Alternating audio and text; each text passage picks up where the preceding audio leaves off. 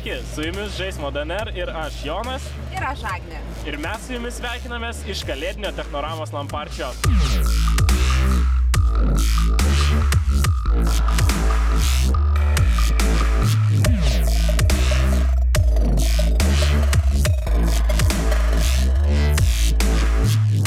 Šį kartą sveikinamės su Snowflakes komandos nariu Perkūnu.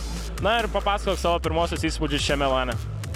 Pirmiausia, tai kadangi tai yra mano pirmasis lanas, tai įspūdžiai tikrai yra labai neblogi. Man čia tikrai žiauriai patinka, tik tai galbūt kažkiek pasigendu, na, žiūrovų gretų. Ir, na, taip pat palaikymo tokio kažkokio tai nesusilaukime iš, bet kitų žmonių. O tau kaip žaidėjui visą tą lano kultūrą, kaip, kaip tau atrodo, kokie lūkesčiai ir kokie apskritai įspūdžiai? Aš manau, kad apskritai LAN parčiai yra būtinybė, ž, na, bet kurioj, bet kurioj tai šaly. Nu, ta prasme, kad tai turi vykti, nes gamerių bendruomenės vis didėja, jos vis plečiasi ir tobulėja.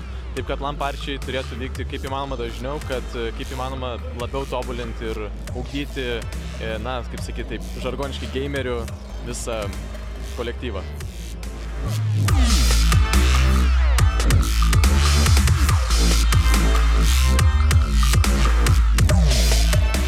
Norėtume paklausti renginio žiūrovų, kokie jūsų įspūdžiai.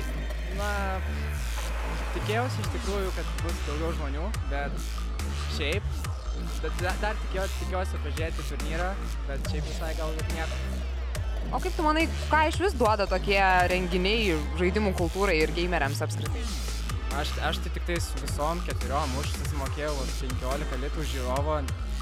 Jei nedalyvauti, bent jau pažiūrėti, aš noriu, kad tas visas dalykas populiarėtų.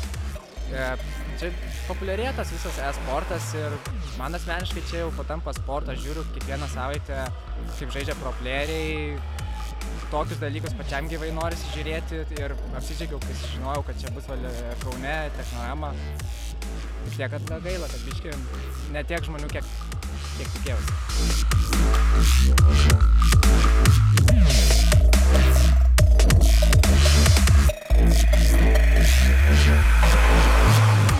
Įspūdžiai atvykus?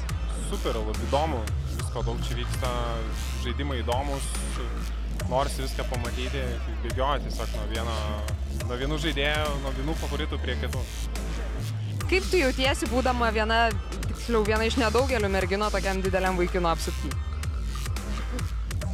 Nežinau, aš kažkaip ne, ne dėl to čia važiavau ir nelabai galvoju apie tai ir kol kas visi draugiškai elgesi ir neišskiria manęs labai kaip merginos būtent ir dėl to mm, nesijaučiu kažkaip kitaip. O kodėl tu manai, kad daugiausiai tokių žaidimų žaidžia vaikinai ir kodėl taip yra? Mm, Aš manau, kad tiesiog merginos ir vaikinai turi kažkokius skirtingus žaislus savo, galim sakyti, nuo pat mažens ir visą gyvenimą, tai tiesiog manau, kad vaikinams labiau patinka azartas, kažkokia strategija, galbūt ten, nežinau, gale, kažkokia jėga. Gal dėl to vaikinai žaidžia. O kodėl tu žaidži? Tėtis išmokė, iš tikrųjų, nuo mažens su tėčiu žaisdavau ir tiesiog kaip, tie žaidimai man toks artimas dalykas. Na kaip, viskas organizuota, viskas puikiai vyksta, kol kas jokių techninių problemų neturėjom, apart to, kad internetas denginėja viralesas per silpnas, bet atsisėdom arčiau modemų, viskas tvarkoja. Tai tiek. O kaip jums su Champions LT projektu sekas, galėtum gal daugiau papasakot? Na, dabar mes kiek planuojam, tai mes pradėjom renk, remti pabiški elektroninio sporto žaidėjus, tai streamerius, tai dar kažką, nu tokio, kad suteikti noro pa- paprastiem žmonėm, kurie dar vis mokykloje, nežino, ko jie nori, jie žaidžia tą League of Legends ar kitą elektroninį sporto šakai priklausantį žaidimą ir, nu, nori tobulėti, bet lyg ir neturi tą motivacijos. Tai mes bandom jas kažkaip motivuoti, matom perspektyvą kai kuriuose žmonėse ir aš tai turim komandą, kuri dabar žaidžia puikiai, viskas tvarkoja.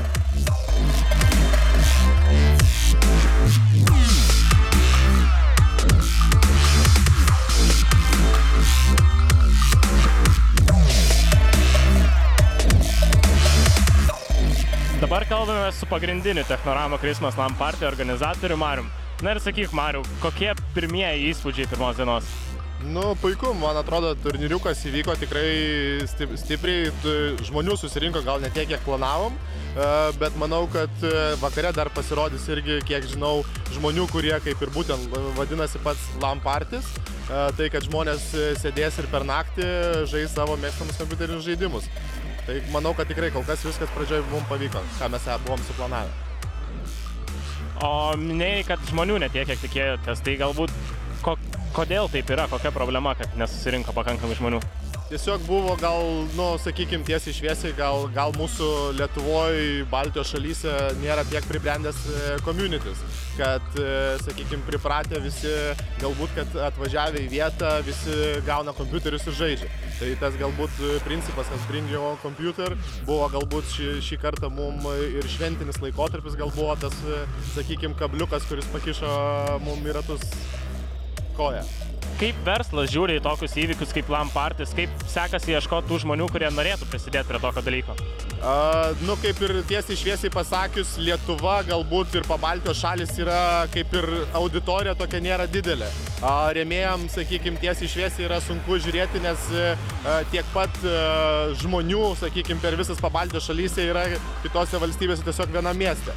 Tai jie žiūri į mumis šiek tiek silpniau, bet mes dėl to stengiamės tikrai padaryti kažką naujo, kaip ir patys žinote, sporto baras, e, kuris irgi rytų Europoje vienintelis yra. Tai bandom tiesiog tą įvesti, kad ir visi kiti sužinotų, kad pabaltijos šalyse tikrai galim padaryti rimtus turnyrus ir dėl e-sporto. Dabar kalbame su turbūt populiariausiu Lietuvos League of Legends žaidėjų karalium ir karalius, kaip tau šitas lanas? Labą dieną. E, Lanas gerai. Lanas turi visko, ko realiai reikia, reikia Lanui.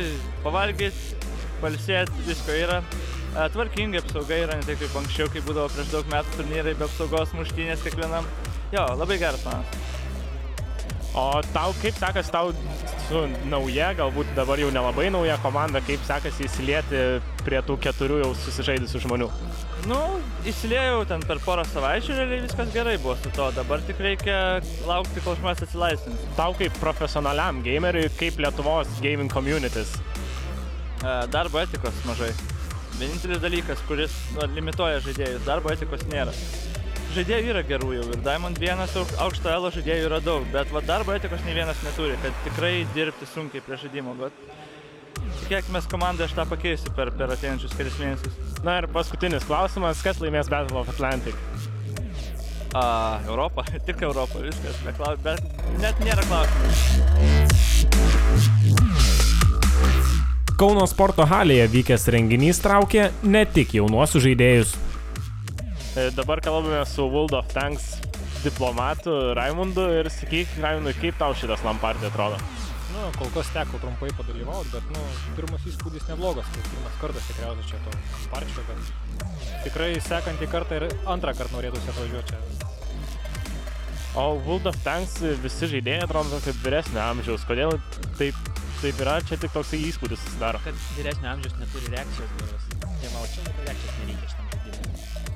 Tiek. Nėra, nėra labai aktyvus žaidimas, kad daleiskim Counter Strike'as ar ten Lolas, nu, Lolas irgi toksai League of Legends, jisai toks bišky uh, greitesnis negu, negu, ne, ne, negu tankai, bet realiai dėl to, va, kad nėra greitas labai daug žaidimas.